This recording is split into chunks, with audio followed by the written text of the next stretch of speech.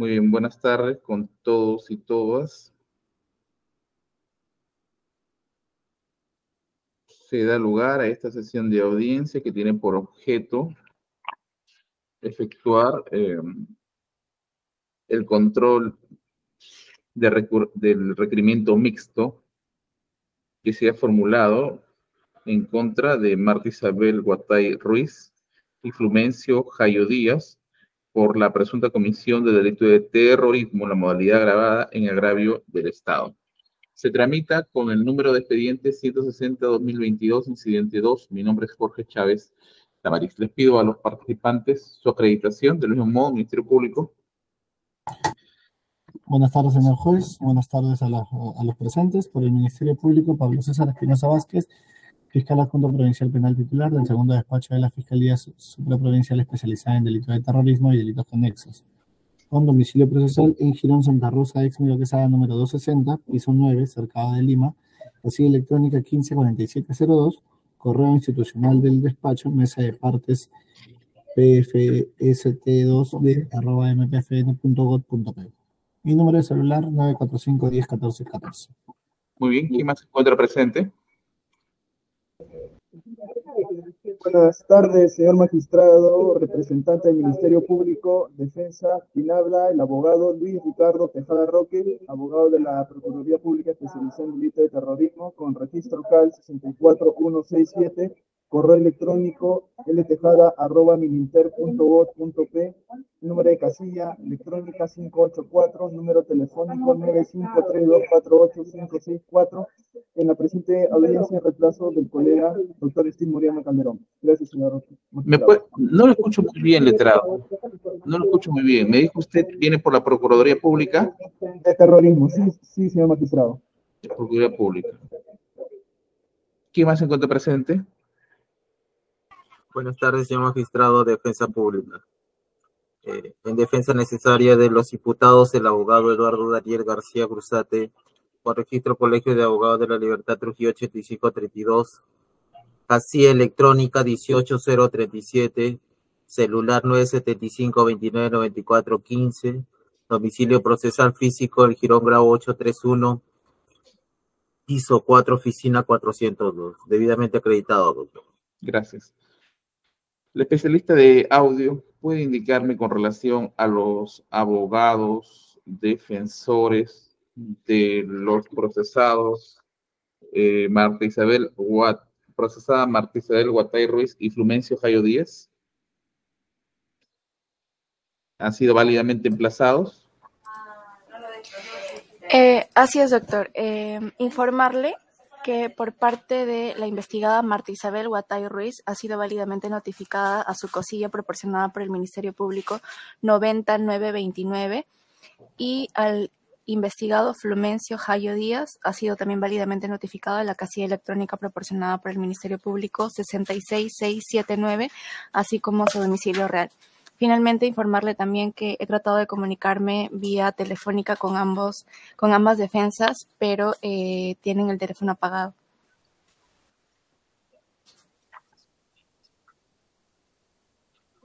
Ahora eh, pregunto al especialista, ah, al Ministerio Público, eh, ¿el nombre de los abogados, señor fiscal?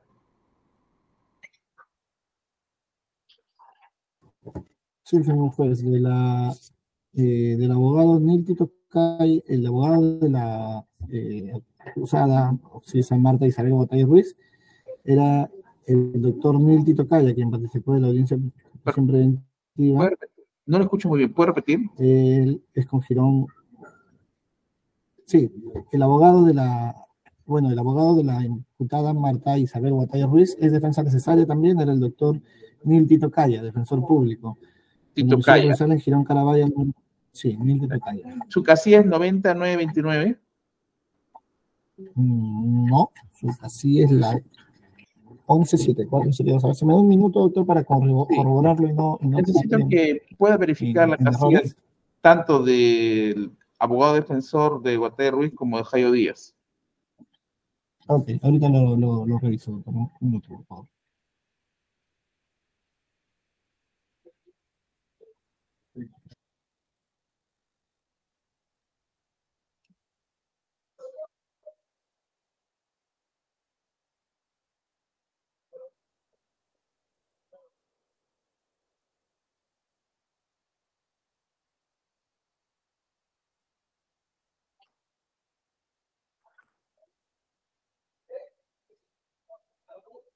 Voy a suspender ya por dos minutos para que pueda verificar.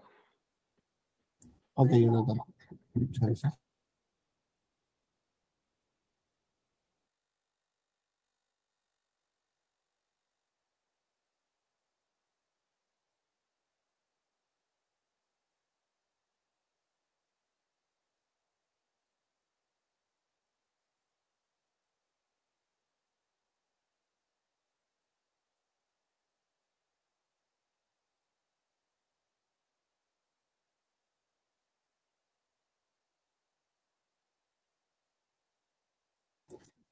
Señor juez, ya tengo las casillas.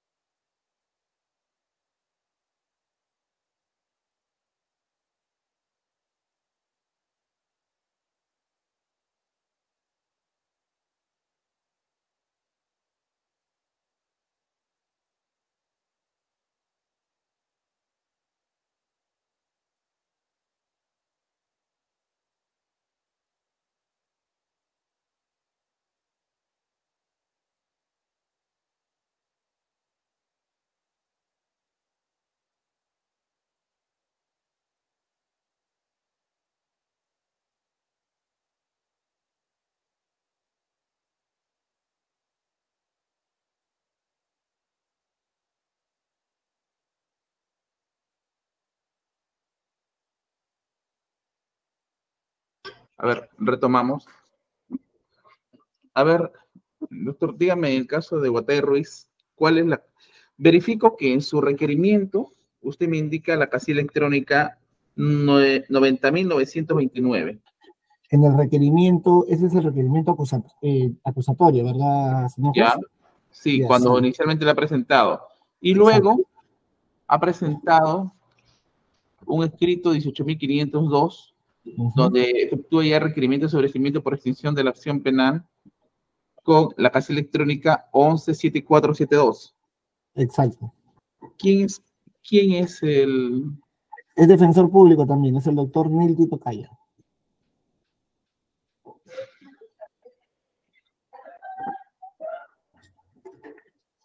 El número, a ver, 117472 es, Exacto. es Neil Tocaya. Ajá.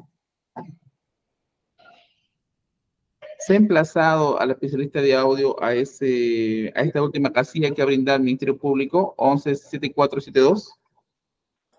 ¿Sí? Sí, ah, Sí, doctor, se ha notificado esa casilla y también estoy verificando en el sistema que existe una razón por parte del asistente de notificaciones, en donde manifiesta que al haberle notificado también vía correo electrónico al defensor Nil Tito Calla, ha recibido un correo de respuesta por parte de él diciendo el suscrito está de vacaciones desde el 7 de agosto al 29 del mismo, al 21 del mismo mes.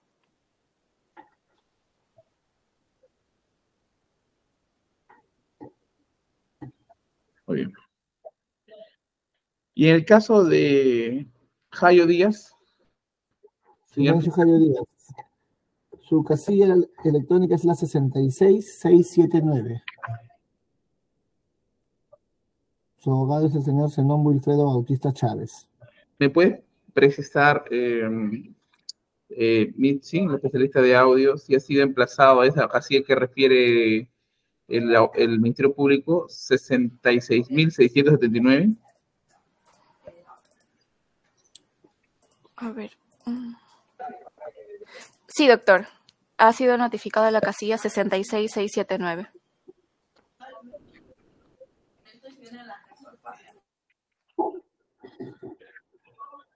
¿Cuál es la resolución que le emplaza?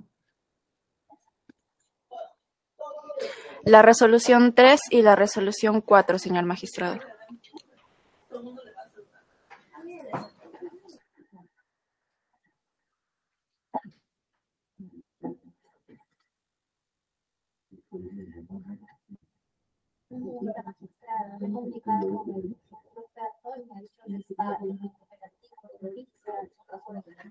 Muy bien. A ver, eh, señor fiscal, tenemos que en el caso de la procesada y procesado, sus abogados no se encuentran presentes. De acuerdo a la resolución número 3, en el ítem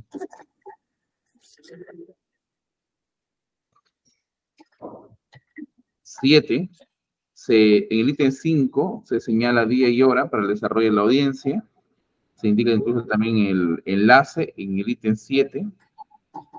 Se indica que en el caso de no estar presentes los abogados, serán reemplazados por la defensa pública por tratarse de una audiencia de carácter inaplazable. Evidentemente, esto se da con la exclusión de los abogados defensores. ¿Algo tiene que indicar? Nada, señor juez, que sea de efecto, estando válidamente notificados, que sea de efecto y se continúe con el desarrollo de la misma. El, la, el abogado de la Procuraduría. Nada que agregar, señor magistrado, nos adherimos a lo presentado por el Ministerio Público. Como es, gracias. Como expresado, la resolución número 3, emitida con fecha 14 de julio del 2023 por parte de este juzgado, convoca a la presente sesión de audiencia de requerimiento mixto. Me refiero tanto al sobreseimiento que se ha planteado en favor de la procesada Marta Isabel Guatay Ruiz y en el caso del extremo acusatorio contra Flumencio Jayo Díaz. Verifico que en su caso no se han hecho presentes los abogados. En el caso de Guatay Ruiz, lo que ha informado la defensa pública que ha asumido su representación es de que está de vacaciones. Y en el caso de Jairo Díaz, no se ha hecho presente. Entonces, corresponde la exclusión de la tramitación de la causa, de, de esta causa, y en todo caso su designación por parte de la defensa pública. Eh, ¿quién, ¿quién, estuvo presente por defensa pública? Doctor García Cruzate, creo que fue. Sí, doctor.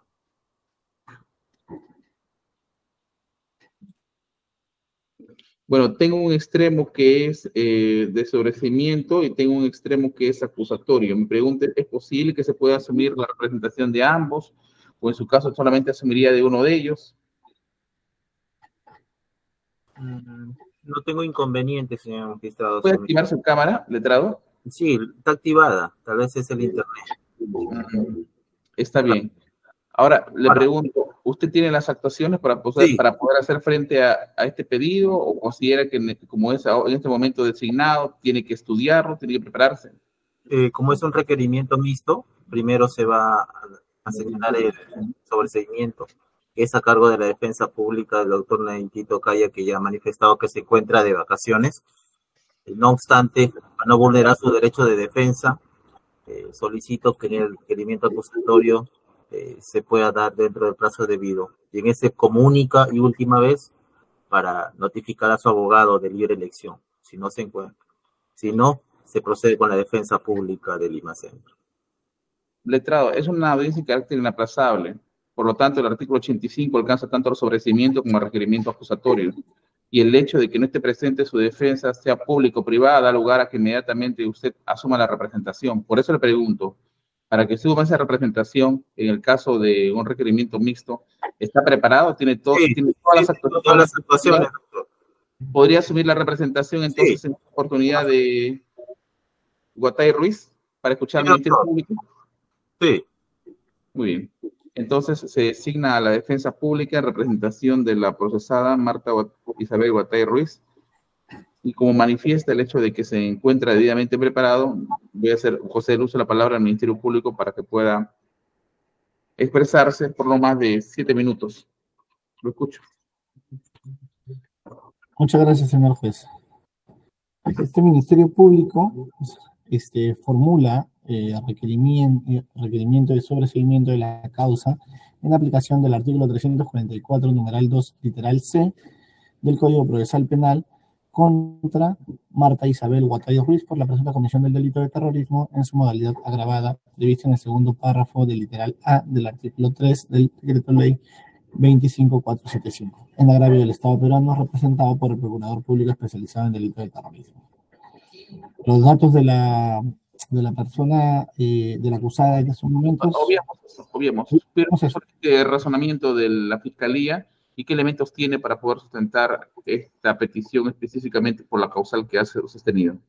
Ok, señor juez. Eh, recordamos que con fecha 6 de enero del 2023, la segunda fiscalía Superprovincial especializada en derechos humanos interculturalidad, formuló requerimiento acusatorio contra Marta Isabel Guatayo Ruiz y Flumencio Jairo Díaz por la presunta comisión del delito de terrorismo en la modalidad agravada, en agravio del Estado peruano, representado por el Procurador Público especializado en delito de terrorismo. Asimismo, con, con escrito de fecha 16 de febrero del 2023, este despacho recepcionó la presente investigación sin nada con la carpeta 31-2017, abocándonos, siendo que con fecha 24 de febrero del 2023, este despacho formuló requerimiento de prisión preventiva contra Marta Isabel Botello Ruiz por la presunta comisión del delito de terrorismo en su modalidad grabada. Posteriormente, mediante resolución número 6, de fecha 3 de abril del 2023, su judicatura declaró fundado el requerimiento de prisión preventiva contra Marta Isabel Botay Ruiz por la presunta comisión del delito de terrorismo en la modalidad grabada en Arabia del Estado peruano por el plazo de nueve meses, ordenándose su captura, su inmediata ubicación y captura a nivel nacional e internacional, debiendo cursarse comunicaciones a, la, a través del Interpol. Eh, se le imputó los hechos imputados que se le imputan que se le imputaron fueron que en el año 1991 la ciudadana Giovanna Parque Pardave tenía a su cargo la dirección del aparato de socorro popular de la organización terrorista Sendero Luminoso y tras su detención a fines de ese año asumió la jefatura de la, jefatura la ciudadana Marta Isabel Guatay Ruiz con el apoyo de Fulmencio Jayo Díaz en su condición de tercer miembro y en cumplimiento de los objetivos de la citada organización, recibió la orden del Comité Central de dicha organización terrorista para realizar un atentado en el Girón Tarata del distrito de Miraflores, Lima, ordenando que los destacamentos 12, 15, 18 y 21 del Comité Central del Comité Zonal Centro del Departamento de Familiares del Aparato Socorro Popular la ejecución del mismo.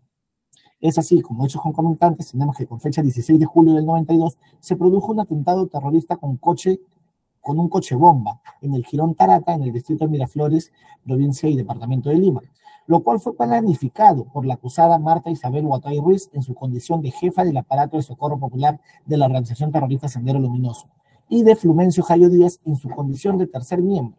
Dicho atentado fue ejecutado, fue ejecutado conforme se detalla de la siguiente manera. El destacamento número 12 se encargó de la ejecución. El destacamento número 15 se encargó de la contención directa, mientras que los destacamentos números 18 y 21 se encargaron de la contención externa. Atentado en el cual se usó un vehículo con 500 kilos de dinamita, el mismo que al detonar causó la muerte de 17 personas, 155 personas heridas y daños, diversos daños materiales en, en muchas viviendas. Posteriormente a ello, eh, con posterioridad a materialización del atentado, la imputada Marta Isabel Guatay realizó un informe a manuscrito en el cual efectuó una evaluación del resultado, señalando que la acción había sido buena. En ese sentido, este, se subsume este tipo, este, estos hechos, los hechos atribuidos a la imputada, se adecúan al tipo penal de terrorismo previsto en el artículo 2 del decreto ley 25475 el cual prescribe quien realiza actos contra la vida, el cuerpo y la salud eh, quien crea o mantiene un estado de zozobra, alarma o temor en la población o en un sector de ella, eh, eh, contra la seguridad de edificios públicos, vías o medios de comunicación o de transporte, empleando materiales o artefactos explosivos que causen grave perturbación de la tranquilidad pública, serán reprimidos con pena privativa de libertad no menor de 20 años. Sin embargo, acá nos encontramos con la agravante, pues si la, con la agravante del numeral A, pues si la, si la gente es integrante de grupos armados bandas, pelotones, grupos de aniquilamiento similares de una organización terrorista encargados de la eliminación física de personas o grupos de, personas indefensas, sea cual fuera el medio empleado. Este es el hecho concreto, esta es la imputación fáctica sobre, lo de la que recae, toda vez que la ciudadana Marta Isabel Botella Ruiz eh, pertenecía a la organización terrorista Sendero Luminoso. Los elementos de convicción que cuentan o que han que ha tenido que evaluar este Ministerio Público a raíz del pedido de, sobre, del pedido de prisión preventiva, por lo cual hemos tenido que cambiar de criterio para poder eh, eh, solicitar el sobreseimiento, es que a raíz, señor juez, de la, de la, del dictamen de, de, la resolución que dicta la prisión preventiva por nueve meses en contra de la ciudadana Marta Isabel Batalla Ruiz, es que su despacho oficia a la Interpol a fin de que eh, se tenía conocimiento que había viajado eh, al país de Argentina. Entonces, la Oficina de Cooperación Internacional y Extradiciones informó que la persona de Marta Isabel Guatay Ruiz ingresó al territorio nacional argentino el 5 de junio del 2022. Por ello tenemos como elementos de comisión los siguientes. El oficio 5713-2023-MP-OCJIE-SCB, es la, entre paréntesis, DEX 5290, mediante la cual la Oficina de Cooperación Internacional informa que Marta Isabel Guatay Ruiz ingresó a territorio argentino el 5 de junio del 2022 y que el día 10 de septiembre del 2022 a las 10 y 46 horas habría fallecido en la dirección, cito, en Cinco Esquinas, 602, número 3448, La Plata, provincia de Buenos Aires, Argentina. Según un certificado médico de función argentino, número 0046-4794 de la República de Argentina. Tenemos también el oficio número 000314-2023 toda vez que cuando el Ministerio Público toma conocimiento del primer oficio, lo primero que se hace es oficiar el Registro Nacional de Identificación del Estado Civil RENIEC para que informen si, esta, si había sido registrada como fallecida. Es con ello que a través de ese oficio, de fecha 30 de mayo del 2023, RENIEC informó que con fecha 5 de mayo del 2023, tomaron conocimiento del oficio OFRE TRC 3-0-E-549, remitido por la Subdirección de Trámites Consulares del Ministerio de Relaciones Exteriores, a través del cual se remitió el acta de defunción número 02-22-93-19, a nombre de Marta Isabel Guatay Ruiz, inscrita con fecha 14 de abril del 2023 ante el Consulado General del Perú en La Plata, Argentina. También tenemos el acta de defunción a nombre de la acusada Marta Isabel Botoy Ruiz, emitido por el Registro Nacional e Identificación y Estado Civil. Por último, señor juez, como elemento de comisión tenemos la ficha RENIEC, en la cual se puede visualizar claramente que RENIEC ya la tiene en la, en sección de restricción, que tiene restricción de fallecimiento a la acusada Marta Isabel Ruiz. En ese sentido, señor juez, el, por regla general, el Ministerio Público es el titular de la acción penal y la persecución penal es una de las atribuciones, la cual concluye, entre otras causas, por la muerte del inculpado. La muerte es el hecho que concluye la existencia humana, esta se acredita con el respectivo certificado médico, el cual indica cuáles fueron las causas del deceso. Luego aquella extinción se publicita mediante la partida de función del fenecido. En otras palabras, la extinción de la acción penal y la persecución penal es un límite legal a la actuación del ente persecutor. Estando en este caso eh, el certificado médico de función y la partida de función de la ciudadana Marta Isabel Guatay Ruiz, es de aplicación del artículo 78 del Código Penal peruano, que prescribe que las causales de extinción, detallando que la acción penal se extingue, uno, por muerte del imputado, como así en el presente caso. Siendo así, se aprecia que la, la Interpol de Buenos Aires comunicó que el personal al personal que el personal policial argentino procedió a realizar nuevas investigaciones con el objeto de poder determinar la autenticidad de los documentos que datan de la muerte de la nombrada. Sin embargo, hasta la fecha se encuentra en investigación, pero lo cierto es que el Estado peruano ha reconocido a través del oficio 31-2000, ha, reconocido en la RENIEC eh, a través del oficio número 000314-2023 slash DRI, slash SDDR, slash RENIEC, que eh, eh, la muerte de la ciudadana Marta Isabel Guatay Ruiz ha sido inscrita a través del acta de función número 02229319. Eh, inscrita el 14 de abril del 2023 ante el Consulado General de Perú de la en La Plata, Argentina, registrando los siguientes datos. Fecha de fallecimiento, el 10 de septiembre del 2022, lugar de fallecimiento, esquina 602, número 3448, La Plata, Argentina, América. En tal sentido, señor juez, este, siendo eh, eh, la, aplicación del inciso 1 del artículo 78 del Código Procesal Penal, es que este Ministerio Público fundamenta su, su requerimiento de sobreseguimiento en aplicación al inciso tercero del artículo 344 del Código Procesal Penal y solicitamos la, la que y solicitamos que se extinga la acción penal en el presente caso contra la acusada Marta Isabel Batalla Ruiz por lo, de, por lo que de conformidad con el artículo 344 numeral 2 literal C del Código Procesal del Código Procesal Penal, este Ministerio Público, en su calidad de titular de la acción penal pública, solicita el sobreseimiento de la causa seguida contra Marta Isabel Guatay Ruiz por la presunta comisión del delito contra la tranquilidad pública en la modalidad de terrorismo agravado previsto en el segundo párrafo del literal A del artículo 3 del decreto, ley, del decreto ley número 25475 en agravio del Estado peruano. Eso es todo, señor juez, por parte del Ministerio Público. La defensa técnica lo tiene que indicar. Sí, señor magistrado, en virtud que se encuentra taxativamente eh, delimitado con los elementos de convicción para mi patrocinada, en el cual se limita en el artículo 78, eh, numeral 1, eh, de los tres numerales en el cual establece el Código Penal y recabando la información delimitada de instituciones públicas, no solo de, cargo, en el cual se limita, en el cual eh, la, la señora, la ciudadana ha fallecido y el cual es una de las causales de la extinción de la acción penal y de la propia pena, en el cual eh, el representante del Ministerio Público ha delimitado. En virtud de ello, nos aunamos al requerimiento para que se declare fundado el pedido de el requerimiento de sobreseimiento para la ciudadana. Muchas gracias. La Procuraduría. Sin oposición, señor magistrado, al requerimiento de sobreseimiento formulado por el Ministerio Público. Puede repetir, no lo escuché. No nos oponemos. Sin oposición, señor magistrado. Suspendo por cinco minutos, Lorenzo. Resolución siguiente. A ver, me, este es el Ministerio Público.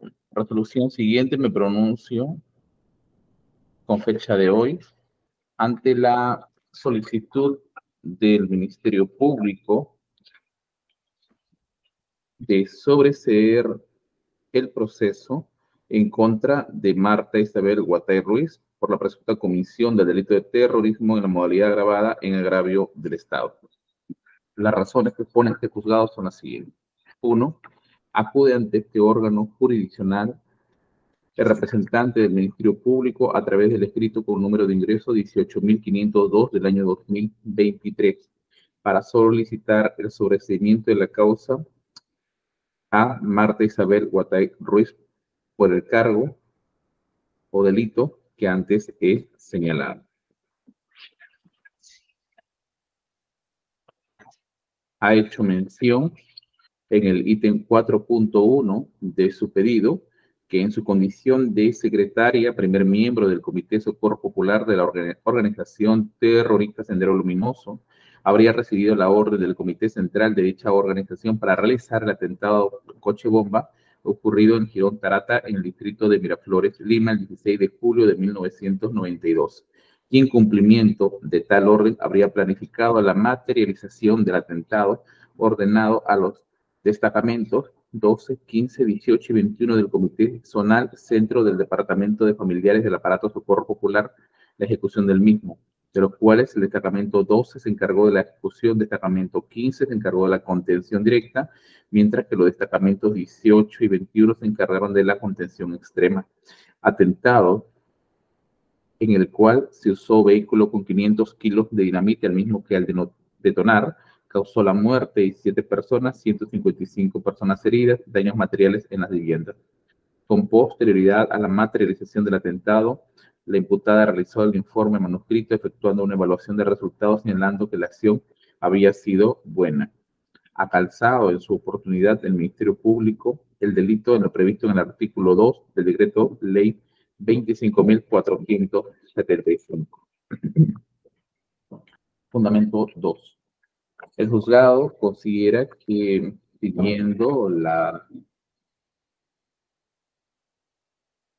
los alcances del principio de legalidad, como lo expone el profesor José Archibaldo Arostegui Moreno en Política Criminal en la Era de la Globalización 2018, Salamanca, España, uno de los sus principios está relacionado a la ley, a la lex certa o certeza de la ley penal, cuando indica que la ley penal debe ser cierta, es en alusión esta alusión hace referencia a que la ley debe ser concreta y clara, a lo que se encuentra relacionado con el principio de certeza o taxatividad. la legalidad, comporta el mandato de taxatividad o certeza que traduce en la exigencia de predeterminación normativa de las conductas punibles y de sus correspondientes sanciones. Hago esta mención porque, en todo caso, para poder atender la petición del Ministerio Público, me tengo que encontrar ante una ley preexistente. Y es el caso, por, eh, en particular, porque la persecución penal viene a ser parte de una política criminal. En esa medida, eh, cuando se solicita, en este caso, la extinción de la acción penal,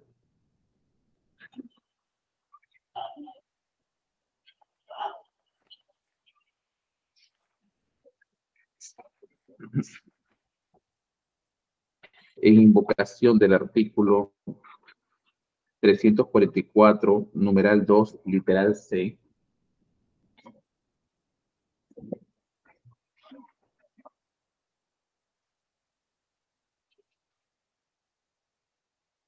que hace mención, la acción penal se ha extinguido, también trae consigo los alcances del artículo 78 del Código Penal peruano, que establece que las causales de extinción se dan por diferentes sustentos normativos. Uno, por la muerte del imputado o imputada, prescripción, amnistía y el derecho de gracia.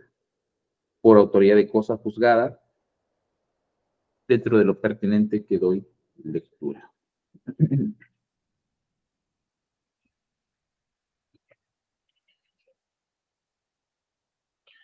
En este caso, el Ministerio Público pide la extinción de la acción penal por muerte de la procesada Marta Isabel Guatay Ruiz. De acuerdo a la resolución número 3 del 10 de agosto del 2018, emitida por parte de la Sala Penal Nacional de Apelaciones especializada en Delitos de Corrupción de Funcionarios Colegiado A, se hace mención en el fundamento jurídico cuarto, cuando son las razones del juzgado, acerca del artículo, hace mención al artículo 61 del Código Civil, eh, en el que se indica, se deja de ser persona con el suceso biológico social de la muerte.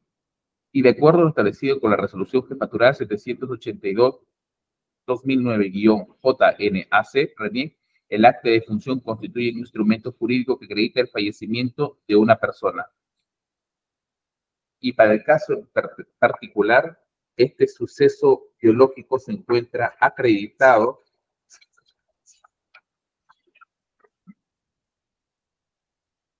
con el acta de función de registro nacional e identificación del Estado civil, que está registrado, está firmado por el registrador, donde aparecen los datos de la fallecida, Marta Isabel Guatay Ruiz. Hace una mención a fecha de registro 14 de abril del 2023 en América, Argentina, La Plata. El declarante es Edgar Enrique Matos Guatay.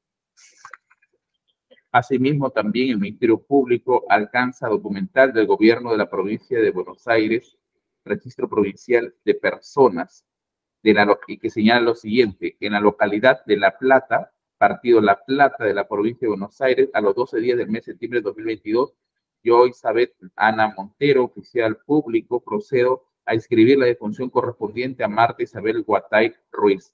Falleció el 10 de septiembre de 2022 a las 10 con 46 horas. La Plata, provincia de Buenos Aires, Argentina, siendo la causa de función paro cardíaco, insuficiencia respiratoria, insuficiencia cardíaca constatado por el médico Gabriela Tibursi, matrícula MP 11.340 según certificado médico 464.794 de sexo femenino, edad 79, profesor de profesión jubilada, con domicilio en Domingo Ponte, 657, Magdalena, provincia de Buenos Aires, Argentina, nacionalidad peruana, 606-2791-301, nacido el 29 de julio de 1943. Eh, y se expide licencia para cremar en el cementerio Parque Irraola, con la autorización de los funcionarios pertinentes.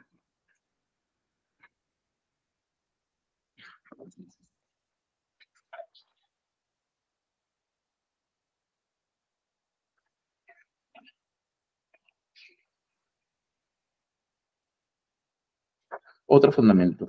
Al respecto, se ha consultado acerca de esta solicitud al abogado defensor, quien ha mostrado aquiescencia con lo expuesto por el Ministerio Público, al igual como la Procuraduría, que de conformidad al artículo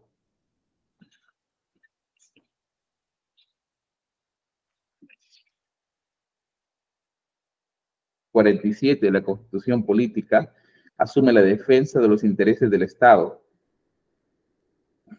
Quien no ha solicitado petición alguna que pueda revertir los alcances del pedido que ha formulado el titular del ejercicio de la acción penal. Debo manifestar lo siguiente. Si bien es cierto en nuestro sistema procesal penal, la formalización de investigación preparatoria que tiene un plazo establecido de conformidad con el artículo 342 del Código eh, establece que el Ministerio Público, en todo caso, agotada la investigación preparatoria y con la interpretación de la Casación 2-2008 la libertad, o formula o no requerimiento acusatorio.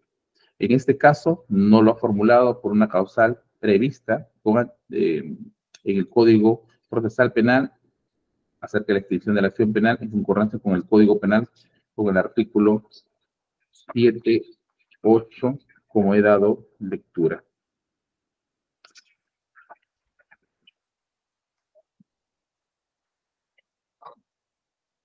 La extinción de la acción penal.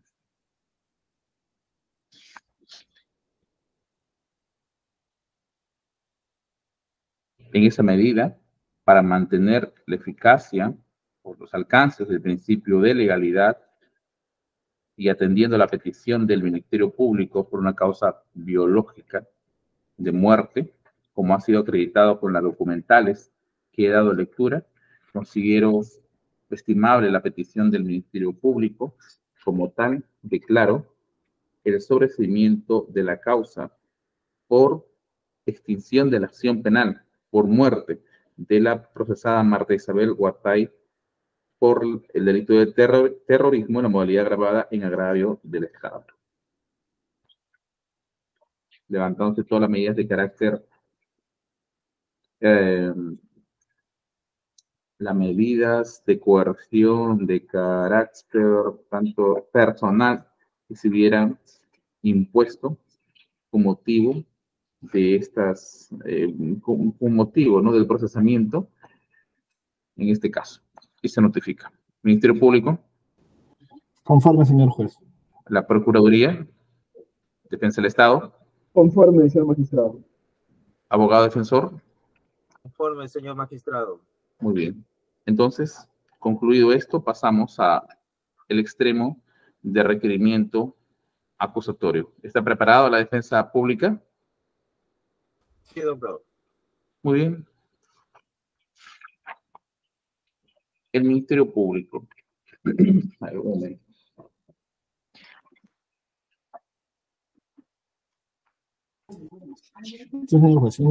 Hágame un resumen del caso. No de lectura, todo, no quiero que haga una lectura literalidad de lo que está en su requerimiento. Cuénteme sobre el caso. Cuénteme sobre el hecho. Perfecto, señor juez.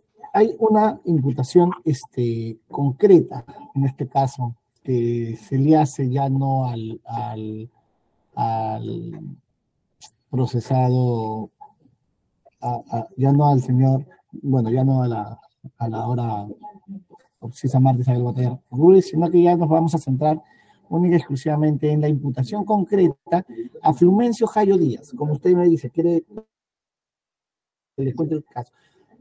Socorro Popular es, una, es parte de la organización terrorista Sendero Luminoso. Es eh, un, aparato, de, dirección, de ejecución, inclusive este, mucho más, llegó a tener mucho más alcance que el Comité Central del Comité Central Centro de Lima. Entonces, este, al principio, esta, este socorro, esta organización, bueno, este aparato de socorro popular de la organización terrorista Sendero Luminoso, se encontraba liderado por Giovanka Pardavé, una persona que fue detenida en el año 91 y este, lamentablemente falleció, lamentablemente porque ninguna persona merece fallecer, eh, falleció en un, en un motín, en un penal, y quien asumió el liderazgo de, esta, de este aparato sangriento, criminal, como es Socorro Popular, fue la ciudadana Marta Isabel Guatay Ruiz, ahora fallecida, eh, y dentro de ese Socorro Popular, dentro de ese aparato Socorro Popular, se encontraba el ciudadano Flumencio Jayo Díaz, y él era tercer miembro, tenía la condición de ser miembro, pues estaba encargado del departamento de familiares. Eh, es lo que se le imputa claramente es, y que se ha quedado demostrado bueno, en, otras audiencias con las copias que ya se verán en, juicio, es que él habría recibido la orden para realizar el atentado con coche bomba ocurrido en el Girón Tarata del distrito de Miraflores, Lima, el 16 de julio de 1992. Él planificó y coordinó. Señor fiscal, por favor, señor fiscal, un momento.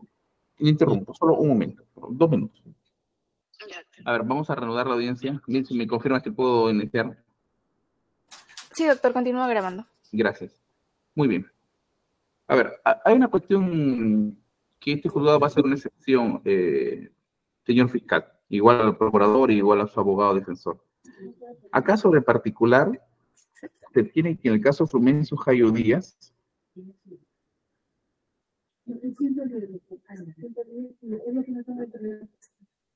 se le ha excluido la tramitación de la causa a un abogado de, libre elección. Y esta situación podría tener una repercusión en lo que es su derecho de defensa. Eh, si en aplicación del artículo 351 del Código Procesal Penal indica que para la instalación de la audiencia es obligatoria la presencia fiscal del abogado defensor del acusado. Hasta ahí esto es literalmente simple de entender. No obstante, hay una situación en particular.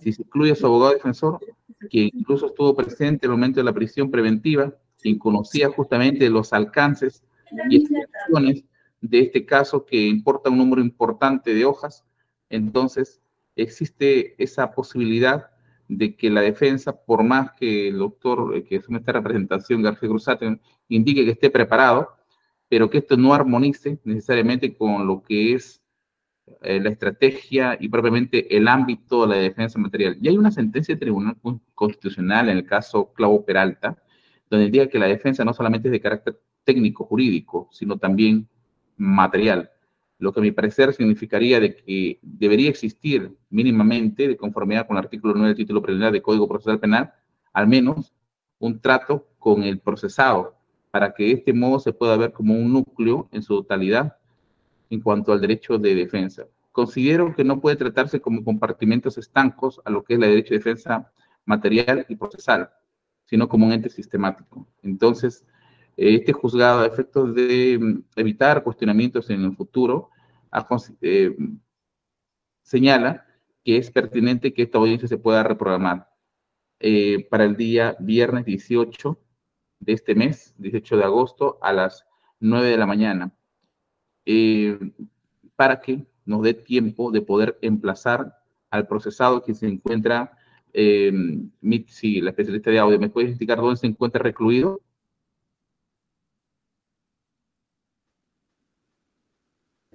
El procesado. Ancon 2 creo que se encuentra. En el Ancon, 2. El Flumencio Javier. ¿Tiene seguridad de eso?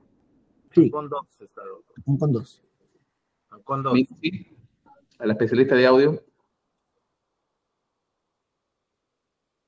Sí, doctor. Estoy revisando un acta de audiencia del cuaderno de prisión preventiva y me figura penal Ancon 1.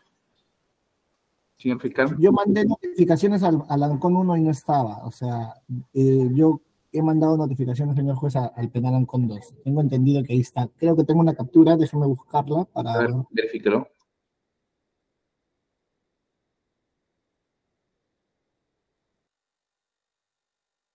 Muy bien, esta situación no cambia el hecho de que la audiencia deba desarrollarse eh, notificando al procesado al penal donde se encuentra privado su libertad ambulatoria y también pueda participar de la presente sesión de audiencia, más si se le ha excluido el abogado de libre elección.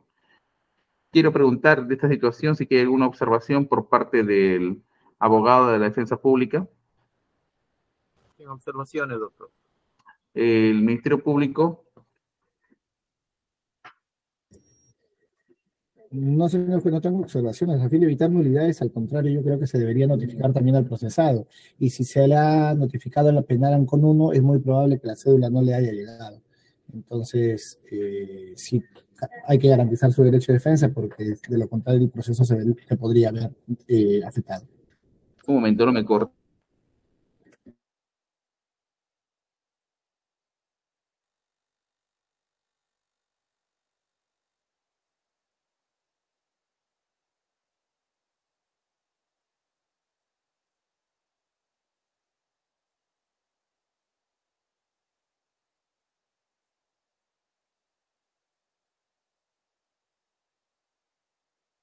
Ya, me indican de que tenemos acceso a poder también ubicar dónde se encuentran los, las personas privadas de libertad en los penales. Entonces... Un cargo, doctor, del penal Ancón 1, donde me devuelven las cédulas y me dicen de que no se el 21 de julio del 2023 me dicen de que no se encontraba. Le voy a agradecer mucho que me lo haga llegar por el correo institucional que tenemos con el especialista de, con la especialista de audio. Muy bien, entonces va a ser para el día, como indiqué, viernes 18 eh, a las 9 de la mañana. Eh, creo que es el mismo link al especialista de audio. ¿Alcanzarán los días, doctor, para notificar al, procesado? Me indican que sí. Además, quiero llevarlo cuanto antes. Si que hubiera algún tipo de inconveniente, en todo caso, ya podremos trasladarlo una semana a la siguiente semana, pero con la seguridad de haber hecho todas las gestiones para eh, determinar dónde se encuentra el recluido este, el imputado. De igual manera, su abogado defensor, el señor Zenón, ¿no? hay que notificarlo también. Sí, vamos, a hacer la gestión, doctor. Eh, ¿la, especialista, de audio? Ya, muy bien. Entonces, notificados todos, ya para esa fecha. Doctor, perdón, ¿la hora? Es el día, indiqué... 18. Viernes 18 a las 9 de la mañana. 9 de la mañana, doctor, tengo un juicio. Sí, eh, a ver, la especialista de audio. Doctor, eh, precisamente estoy tratando ahorita de agendar eh, una sala de audiencias para el día viernes y la señorita me indica que hay espacio a partir de la una de la tarde. ¿Por qué, señorita? Ah, ¿te refieres al del penal? Del, penal, exacto, para agendar una, para reservar una sala de audiencias. a la una hacemos un corte, ¿podría ser a partir de las dos? ¿Dos, dos, dos y media? A ver, doctor, si me da un segundo para poder coordinar, estoy en llamada. Dos de la tarde sí estoy libre, doctor. Para las 9, viernes 18, 9 de la mañana tengo continuación de juicio oral. Pero son ente corporativo, doctor. Si no, vendrá su provincial, pues. Okay. Sí, Vamos, un momento.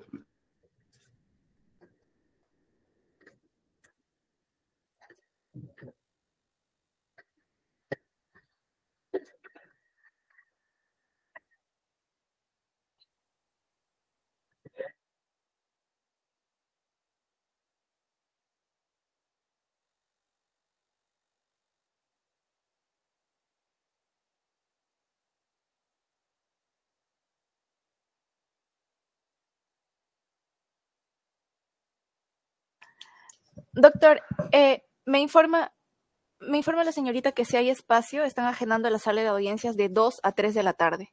Está bien, ese va a ser el horario. El viernes 18 de 2 a 3 de la tarde vamos a desarrollar la audiencia. Entonces, hasta esa fecha.